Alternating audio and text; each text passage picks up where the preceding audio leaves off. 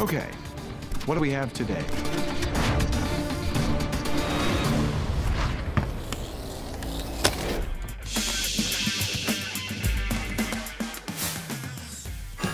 Air quality enthusiasts the world over are celebrating Telaire's SMUART 04L particulate dust sensor, as they'll now know just how much fine particle dust is in the air.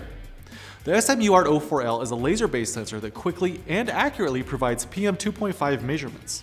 A fan pulls air into the housing, where a laser LED illuminates the particles, and a photosensor detects reflections from particles ranging from 0.3 to 10 microns. The SMUART 04L is easy to use, as the output of the photosensor is processed by an integrated MCU, and the measured concentration levels are output over a UART interface, with a detection range of 1 to 999 micrograms per cubic meter. The laser-based measurement offers a fast one second response time and an average of 40,000 hours before recalibration is required.